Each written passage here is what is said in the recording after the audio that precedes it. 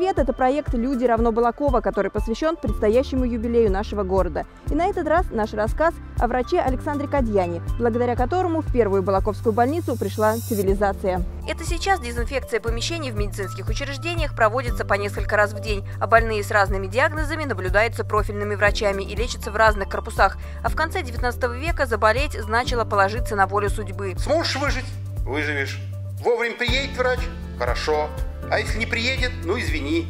Все, значит, жизнь твоя окончена. Небольшие операции делали здесь на месте, конечно. Но полостные ну, вообще без э, ассистента это сделать невозможно. Медицинских инструментов мало, лекарств тоже не всегда хватало. А если учесть, что добираться к пациентам приходилось за несколько верст по бездорожью и распутице, то можно себе представить, с какими трудностями сталкивались врачи конца 19-го, начала 20 века. Может быть, поэтому среди них и не было женщин. Роль женщины в медицине в конце 19-го, в начале 20 века сводилась к одному – это акушерство. И для тех, кто принимает роды, даже выпускали специальные журналы, вот такие вот.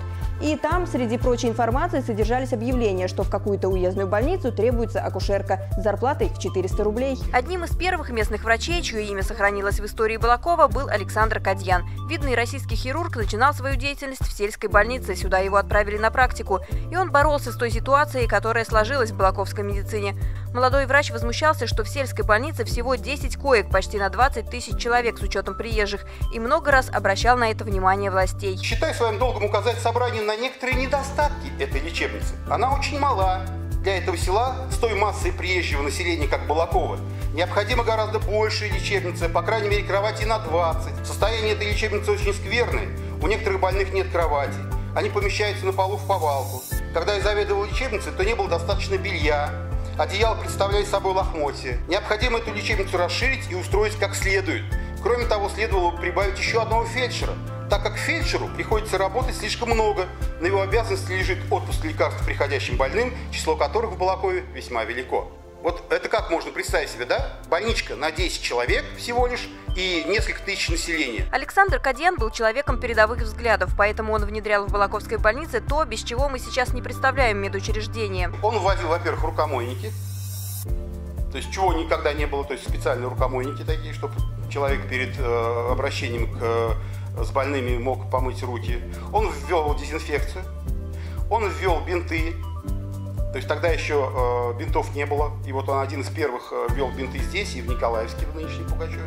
Кроме того, он был э, даже э, антисептики впервые вводил именно здесь, в Заволжье. В то время больницы содержались за счет уездов, а они были бедны. Поэтому все нововведения молодого врача воспринимались скептически, мол, хватит нам и того, что есть. С лечением больных помогали балаковские купцы. Если бы не поддержка богатых людей, то, конечно, было бы гораздо сложнее.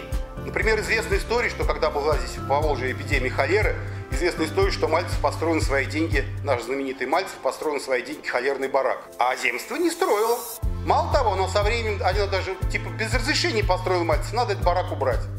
Вот даже был такой подход. Но холерные бараки были необходимы, ведь во время вспышек различных заболеваний заразных людей надо было лечить отдельно от тех, кто просто подхватил простуду или поранил ногу. В то время эпидемии косили целые деревни, поэтому уездное собрание выпускало вот такое вот постановление о мерах к предупреждению и прекращению повальных и заразительных болезней. В нем говорилось о том, что дворы нужно содержать в чистоте, мусор не выбрасывать куда попало. Если в селе заболели дети, то школы закрывались, и носить больных детей в церковь запрещалось. То время в Балакове лютовали кишечные инфекции, что вполне объяснимо. С антисанитарией никто не боролся, а дети страдали скарлатиной, но не каждый мог позволить себе лечение в больнице. Как крестьяне лечились? Они же не бесплатно лечились. Если э, кто-то попадал в больницу, то за него э, э платило общество сельское или крестьянское. У него самого денег-то особо-то и не было. Вот, поэтому некоторые э, крестьяне на это не шли. И Кадьян обращался э, к власти уездной с просьбой, чтобы было хотя бы несколько коек, вот именно бесплатных, чтобы он, ему было позволено и бесплатно лечить крестьян. Александр Кадьян выступал и за то, чтобы пациентам его больницы было комфортно лечиться и выдвигал весьма продвинутые для того времени идеи, как отвлечь больных от тяжких раздумий о своем здоровье. Кадьян одним из первых врачей в России предлагал э, открыть э, при больницах библиотеки. Он говорил о том, что человек который лежит в больнице, он должен отвлекаться от болезни. Он должен чем-то еще заниматься, чтобы у него не было ощущения, что вот все, жизнь закончилась, я теперь больной и лежу в этой больнице, помираю. Александр Кадьян проработал в Балаковской больнице недолго, а затем пошел на повышение в уездную лечебницу. За передовые взгляды его судили, но оправдали. После всех перипетий его отправили в город Симбирск, где он стал лечащим врачом семьи Ульяновых. Выпустил много работ по хирургии, заслужил уважение в российской медицине.